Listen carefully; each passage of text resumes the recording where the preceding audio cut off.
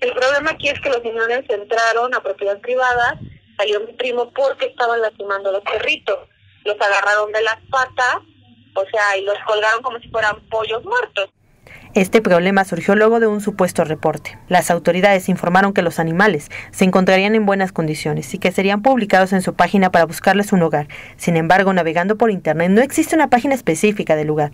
Es a través del Facebook Ayuntamiento de San Andrés Cholula que publican únicamente a dónde llevarán su jornada de vacunación y esterilización.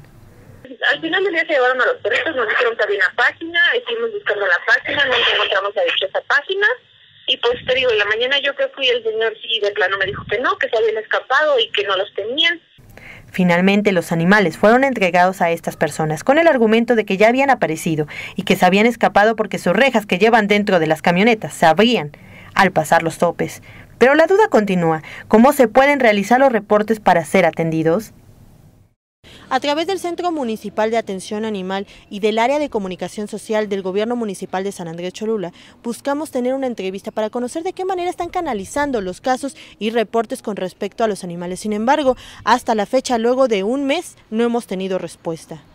Yo llegué incluso desde que te comenté que yo le dije al señor que no me parecía que estuvieran en muy, buenas condiciones, no estaban limpios, no estaban aseados y pues ahí mismo les estaban sirviendo la comida. Entonces, Digo, mi sorpresa es que si supone que es un centro de atención animal, pues debería ser que esté mejor, ¿no? Porque si no, ¿para qué ponen ese centro de atención?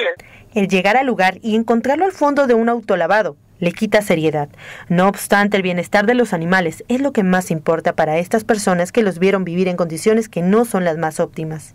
Además, en nuestra última visita, pudimos presenciar cómo un canino de talla grande se encontraba en una reja pequeña limitando su caminar. Hasta el momento continuamos en espera de la entrevista que nos permita conocer la postura de este centro de bienestar animal. Con imágenes de Fernando García para Mega Noticias, Saraí Mancilla.